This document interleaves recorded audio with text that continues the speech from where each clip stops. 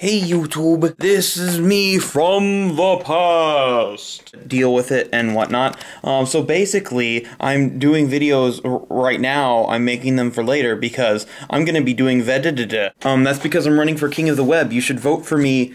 Uh, there'll be a link or something. So today, October 31st, 2011, I finished my box of Trix sponsor! And inside was this Justice League comic awesome. It's about the Flash, and he fights a robot version of himself because it's really easy apparently to make robots with super speed. And it's about how teamwork is awesome and the Justice League is awesome because it has team. It's it's it, it's okay. I just thought that was cool, and I thought I'd share it with you from the past.